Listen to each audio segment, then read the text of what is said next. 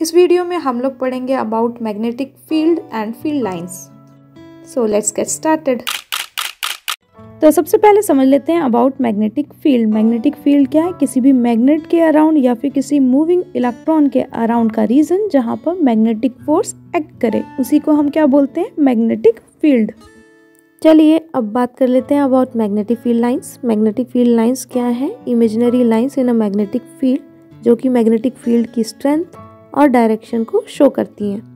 चलिए, अब हम सीख लेते हैं किस तरीके से मैग्नेटिक फ़ील्ड लाइंस को ड्रॉ किया जाता है। इसके लिए हम सबसे पहले लेते हैं एक प्लेन पेपर इस पर रखेंगे हम एक बार मैग्नेट अब इस बार मैग्नेट के अलोंग हम कंपस रखते जाएँगे और नॉर्थ साउथ डायरेक्शन के अलोंग हम क्या करेंगे? डॉट बना लेंगे। इन डॉट्स को जब आप ड्रॉ करेंगे तो आपको क्या मिल जाएगा? मैग्नेटिक फ़ील्ड लाइन इसी तरीके से हम कुछ और फ़ील्ड लाइंस बना लेंगे तो आपको इस तरीके की पिक्चर मिलेगी मैग्नेटिक फ़ील्ड लाइंस की। अब कुछ और बातें जान लेते हैं about magnetic field and field lines तो देखिए सबसे पहला पॉइंट मैग्नेटिक फ़ील्ड एक ऐसी क्वांटिटी है जिसका मैग्नीट्यूड और डायरेक्शन दोनों होता है।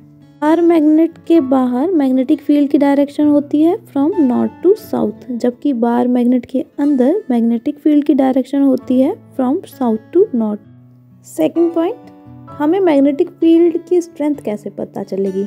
By degree of closeness of the field lines देखिए, जहाँ पर मैग्नेटिक फ़ील्ड लाइंस पास पास होंगी, वहाँ पर मैग्नेटिक फ़ील्ड की स्ट्रेंथ ज़्यादा होगी। और जहाँ पर मैग्नेटिक फ़ील्ड लाइंस दूर दूर होंगी, वहाँ पर मैग्नेटिक फ़ील्ड की स्ट्रेंथ कम होगी।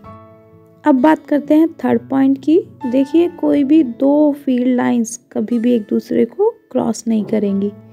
क्यों?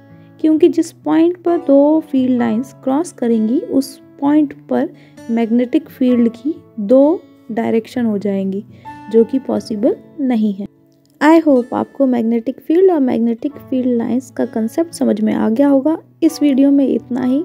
नेक्स्ट वीडियो में मिलेंगे। Till then take care